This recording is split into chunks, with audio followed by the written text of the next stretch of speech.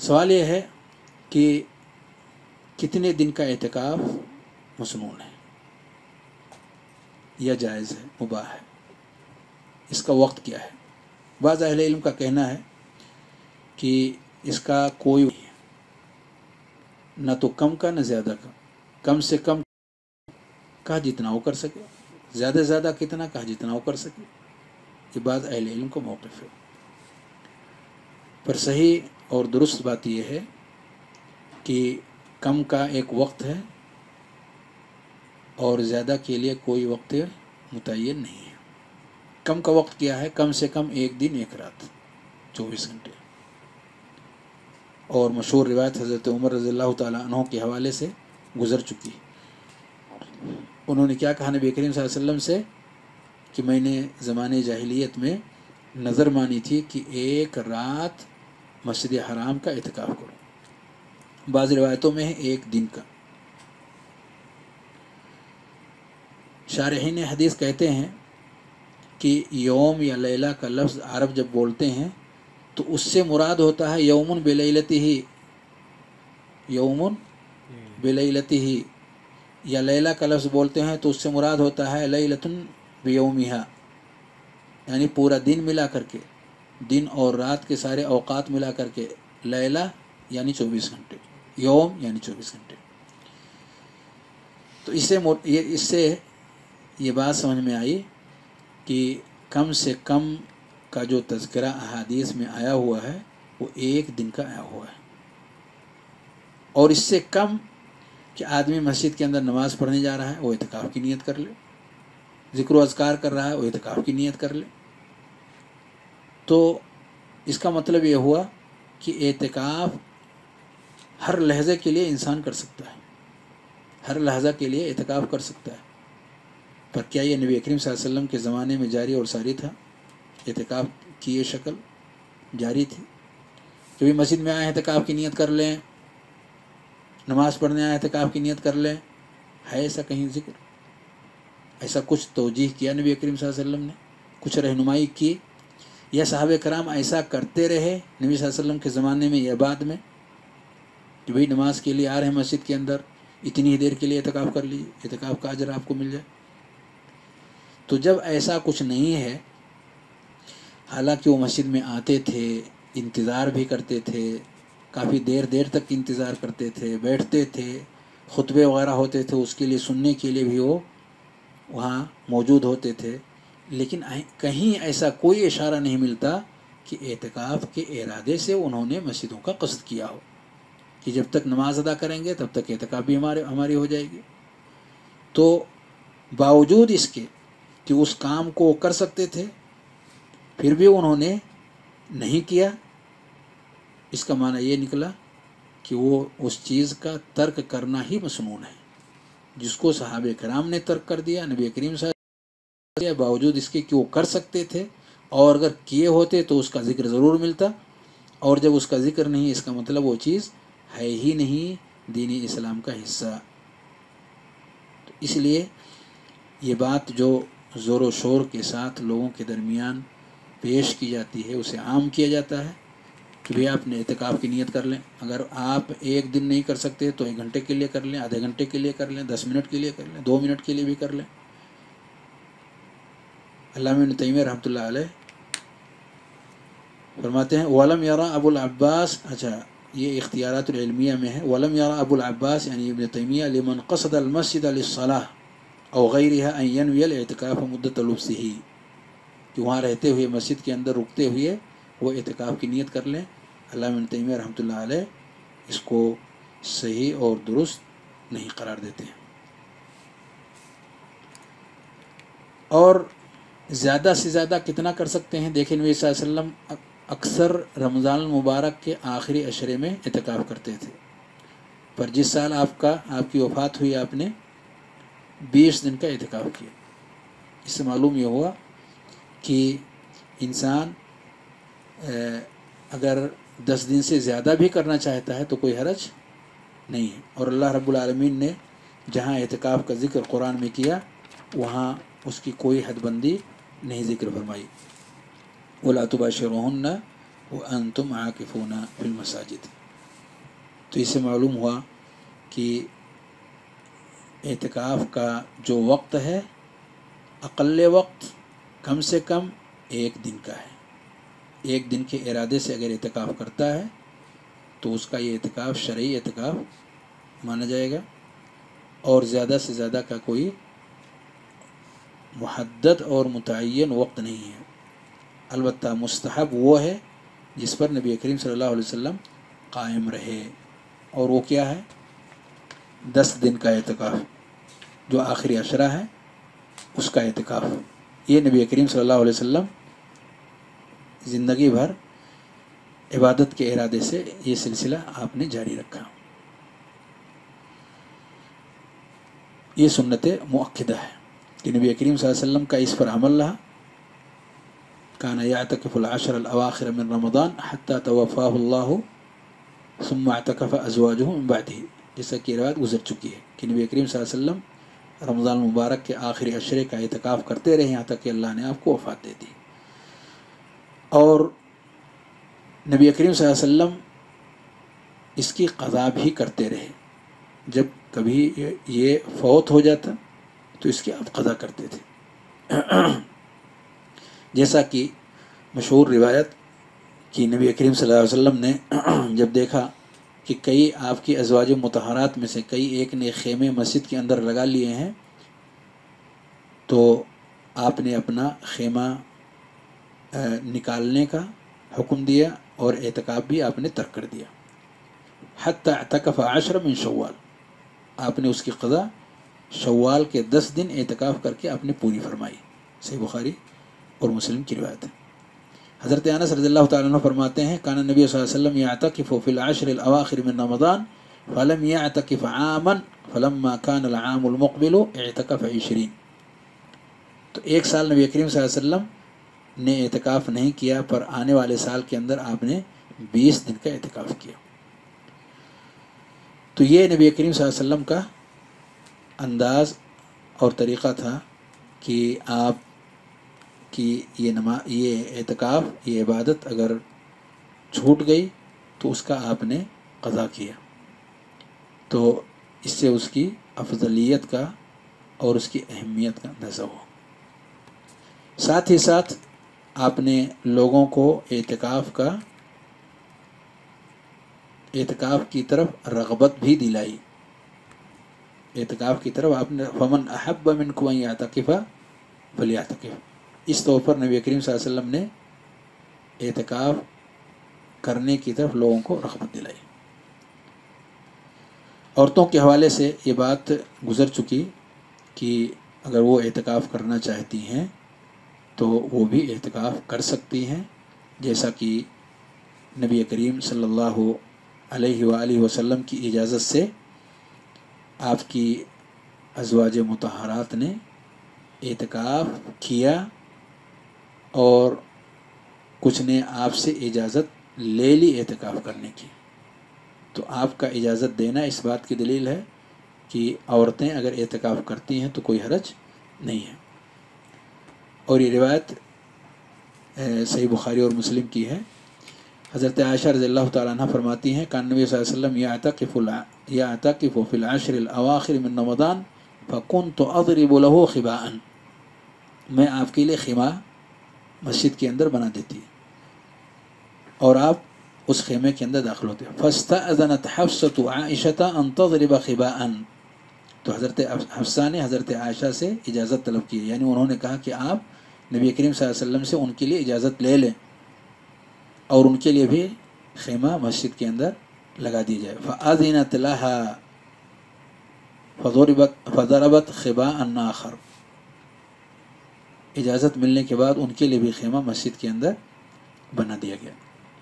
लेकिन उसके बाद इन लोगों की देखा देखी और अजवाज मतहरात ने जब मस्जिद के अंदर और भी खेमे बनाए तो नबी करीम सल्लल्लाहु अलैहि वसल्लम ने नाराज़गी का इजहार किया। और आपने फिर एहतिकाफ़ी तर्क कर दिया। कि वहाँ हज़रत आयशा का भी खेमा है, हज़रत हफ्सा का भी खेमा है, ज़ैनब रज़ी का भी खेमा है। तो इतने सारे खेमे जब नबी करीम वसल्लम ने उसके अंदर देखे तो आपने फिर एहतिकाफ़ नहीं किया। तो इजाज़त लेना और आपका इजाज़त देना इस बात की दलील है कि औरत भी अगर एतकाफ़ करती है तो उसका एतकाफ़ सही और दुरुस्त है। उसमें कोई हर्ज नहीं है। इस शर्त के साथ कि फितने का खौफ ना हो। फितने का खौफ ना हो। जहाँ भी औरतें एतकाफ़ करें, वहाँ इस बात का अहतमाम हो कि किसी भी नौीयत का कोई फितना ना हो।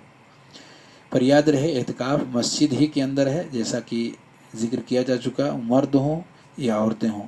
यहाँ इसलिए आप देख रहे हैं कि खेमे कहाँ लग रहे हैं? मस्जिद के अंदर। नबी करीम वसल्लम ने अपने खेमे के साथ साथ कई खेमे अपने अजवाज मतहरात के देखे। अगर घर के अंदर का मामला होता तो इतनी तकल्लुफ़ की ज़रूरत ही नहीं थी। सारे लोग अपने घरों के अंदर एहतिकाफ़ कर लेती। और नबी वसल्लम की नाराज़गी का कोई मामला नहीं था। उनसे कह देते, आप लोग तो अपने घर के अंदर भी कर सकती हो। आप लोग तो अपने घर के अंदर भी कर सकती हैं। तो वहाँ आप कर लें, मैं मस्जिद में कर लेता हूँ। ऐसा कुछ नबी करीम वसल्लम ने नहीं कहा। मालूम यह हुआ कि मस्जिद ये वाहिद जगह है जहाँ एहतिकाफ़ अच्छा इस लॉकडाउन में क्या करेंगे? कहाँ एहतिकाफ़ करेंगे? लोग कहाँ, लोगों का मजबूरी है। तो ये फ़र्ज़ वाजिब तो नहीं है। आप अगर मस्जिद में नहीं कर सकते हैं मत करें। लेकिन अगर दो चार पाँच लोगों को मस्जिद के अंदर आने जाने की इजाज़त है कि वो मस्जिद में नमाज़ पढ़ सकते हैं, उन्हीं में से एक शख्स, दो चार पाँच लोगों को जिनको इजाज़त है, उनमें से एक शख्स एहतिकाफ़ कर सकता है। अगर लोगों को एतराज़ है कि खेमे नहीं लगा सकते, बिला खेमा आदमी एहतिकाफ़ कर ले। मस्जिद के अंदर रहे। उचार पाँच उचार पाँच ही अगर सारे के सारे एहतिकाफ़ के इरादे से बैठ जाएँ, कोई हर्ज की बात नहीं जितने की इजाज़त है, उतने लोग बैठ जाएँ। जो सोशल डिस्टेंस है, फासले हैं, दो लोगों के बीच में फासला होना चाहिए, उस फासले की रियायत करते हुए मस्जिदों के अंदर बैठ जाए। मुश्किल से एक मस्जिद के अंदर किसी बस्ती में एक आदमी एहतिकाफ़ के लिए बैठता है। यहाँ तो तीन, चार, पाँच लोगों को इजाज़त है। बैठ जाइए सारे लोग। तो अल्हम्दुलिल्लाह, इस लॉकडाउन के अंदर भी जितनी इजाज़त है, उसके एतबार से इस अजीम इबादत को अंजाम मस्जिद के अंदर दिया जा सकता है। सारे के सारे लोग मस्जिद के अंदर बैठ सकते हैं, जितने लोगों की इजाज़त है। और किसी भी तरह का कोई हरज नहीं है कि इंसान मस्जिद के अंदर खेमे ना बनाए। तनहाइयत के लिए वो चीज़ उसके लिए मुफीद है, जैसा कि नबी करीम वसल्लम के लिए बनाया गया। अब सवाल यह है कि एतकाफ़ में इंसान कब जाए? अपने एतकाफ़ गाह में जो उसके लिए जगह बनाई गई है, तैयार की गई है, उसमें कब जाए और कब उससे निकले? किस वक्त उसमें दाखिल हो और किस वक्त निकले? तो इसके लिए जो मुस्तहब वक्त है, अल्लाह तैमिया रहमतुल्लाह फरमाते हैं फ़कत बैन अन मन अतकफ़लाशर लवाखिर फ़ैन हो या अहदा वशरीन इस रिवायत जो हज़रत अबू सैद खुदरी रज़ी तु की मशहूर रिवायत है, जिसका मैंने बार बार तस्करा किया, कि तीनों अशरे के अंदर नबी करीम वसल्लम ने एहतिकाफ़ किया था। दो अशरे के बाद आपने क्या कहा? फ़मन कान एतकफ़ मई फलियरज जो मेरे साथ एहतिकाफ़ कर रहा था ललतुल्क़द्र को तलाश करने के लिए, अब उसे चाहिए कि वो लौट जाए, यानी अपने एहतिकाफ़ गाह में। यानी आखिरी अशरा मुकम्मल वो एहतिकाफ़ के तौर पर गुजारे। तो इससे पता चला कि आखिरी अशरा मुकम्मल उसे एतकाफ़ गाह में गुजारनी है। तो ये मुकम्मल कब से शुरू होगा? ये मुकम्मल शुरू तब से होगा जब से वो रात का आगाज़ हो रहा है। रात का आगाज़ सूरज के डूबने ही से शुरू हो जाता है। गरूब शम से रात का आगाज़ हो जाता है। नबी वसल्लम ने क्या कहा? इदा अकबल लो मिनहा होना, यानी रात शुरू हो चुकी है। वो अदबर नहार मिनहा होना, व गरबत शम्स फ़कत अफ्तर साइम तो रात कब से शुरू होती है सूरज के? डूबने के बाद से। तो इक्कीसवीं रात शुरू हो रही है और आप मस्जिद में हैं, ताकि आपके दस दिन मुकम्मल हों। मुकम्मल कुछ लोग कहते हैं कि फजर की नमाज़ पढ़ने के बाद बैठें जैसा कि नबी करीम सल्लल्लाहु अलैहि वसल्लम के बारे में है कि नबी करीम सल्लल्लाहु अलैहि वसल्लम सल्लल्लाहु अलैहि वसल्लम इदा अरादा अन यातकिफ़ सल्लल फजर सुम्मा दखला मुअतकिफ़ा सही बुखारी मुस्लिम की बात नबी करीम वसल्लम जब एहतिकाफ़ का इरादा करते, फजर की नमाज़ पढ़ करके और अपने एहतिकाफ़ गाह में दाखिल हो जाते। इससे कुछ लोगों ने कहा कि ऐसा पूरी रात आप इक्कीसवीं की गुजार लें और फजर की नमाज़ के बाद अपने इतकाफ़ गाह में चले जाएँ। सही नहीं है। ये बात सही नहीं। क्योंकि एक रात उसकी कम हो गई एतकाफ़ की। एक रात उसकी एतकाफ़ की कम हो गई। रात पहले आती है और दिन बाद में आता है। और ऊपर जो मैंने अबू सईद खुदरी रज़ी तु की रिवायत पेश की, उसमें आपने क्या कहा? उसमें आपने कहा, फमन खान एतकफ़ मई बीस दिन जिन्होंने हमारे साथ एतकाफ़ में गुजारा है फलियर जे अब वो अपने एतकाफ़ गाह में चले जाएँ। फलियर जे तो इससे पता चला कि आप वहाँ से निकल करके अपने घर नहीं आए, कि अब फजर बाद जाएँगे। आप मस्जिद ही के अंदर रहे। ये और बात है, आपके लिए जो जगह बनाई गई थी, उस जगह में आप फजर की नमाज़ के मस्जिद में आप कहीं भी रह सकते हैं। एहतिकाफ़ करने वाले शख्स के लिए ज़रूरी नहीं कि एक ही जगह को लाजिम पढ़ करके रखे, इधर उधर खिसके नहीं, मस्जिद में। मस्जिद में कहीं भी बैठ सकता है, कहीं भी उठ सकता है, कहीं भी लेट सकता है, कहीं भी कुछ कर सकता है, ऐसा कोई हरज नहीं है। तो अगर नबी करीम वसल्लम ने रात मस्जिद के अंदर गुजारी, मुख्तलिफ़ इबादत के अंदर, मुख्तलिफ़ जगहों के अंदर एहतिकाफ़ गाह में आप फजर की नमाज़ के बाद गई कोई हर्ज नहीं। इसीलिए जमहूर का कहना है इस हदीस के हवाले से कि फजर के बाद आप इतकाफ़ गाह में गए, अला सल्लल्लाहु अलैहि वसल्लम दखल वनक़ता फ़ी पूरे तौर पर लोगों से अलग हो गए दोबारा, ये फजर की नमाज़ के बाद से। वो तखल्ला बिनफ़ बाद सलात सुबह, और आप अपने आप के लिए खाली हो गए सुबह की नमाज़ के बाद से। इसका ये मतलब नहीं है कि एहतिकाफ़ का आगाज़ फजर की नमाज़ के बाद से हो रहा है, ये मतलब नहीं है। बल्कि इसका आगाज़ मगरिब से शुरू हो चुका था। और जब आपने सुबह की नमाज़ पढ़ी तो सारे लोग अपने घर चले गए नबी करीम वसल्लम अपने एहतिकाफ़ गाह में चले गए। और निकलने का वक्त कब है? तो इससे आगाज़ कब कब समझ में आया? गुरूब शम्स के बाद। शुरू हो जाते यानी गुरूब शम्स हो और आप मस्जिद के अंदर तशरीफ़ ले आए। अगर मुकम्मल चाहते हैं, अगर आधी अधूरी चाहते हैं तो बात अलग है। अगर मुकम्मल चाहते हैं तो सूरज के डूबने के साथ साथ मस्जिद के अंदर एतकाफ़ करने वाले शख्स का मौजूद होना ज़रूरी है, ताकि वो मुकम्मल एतकाफ़ कर सके। और सूरज डूबने के साथ साथ उसका एतकाफ़ ख़त्म भी हो जाएगा। सूरज डूबने के साथ साथ इसका एतकाफ़ ख़त्म भी हो जाएगा। कौन सा सूरज उनतीसवीं रात का रोज़ा, उनतीसवीं का रोज़ा मुकम्मल करने के बाद अगर चाँद नज़र आ जाए तो उसी के साथ साथ एतकाफ़ रमज़ान ख़त्म हो गया तो एतकाफ़ भी ख़त्म हो गया। क्योंकि अब शवाल शुरू हो, चाँद निकला मतलब शवाल शुरू हो गया, रमज़ान ख़त्म। और अगर चाँद नज़र नहीं आया तो तीसवीं का सूरज डूबते ही रमज़ान ख़त्म। तीसवीं का सूरज डूबते ही रमज़ान ख़त्म। अब जब रमज़ान ख़त्म हो गया तो उसे क्या करना है? एहतिकाफ़ से निकल आना है। एहतिकाफ़ गाह से निकल आना है। एहतिकाफ़ तो उसका ख़त्म ही हो गया। एहतिकाफ़ गाह से अब वो अपने घर आ जाए और जो कुछ भी उसे ईद के लिए तैयारियाँ करने हैं, वो तैयारियाँ करे।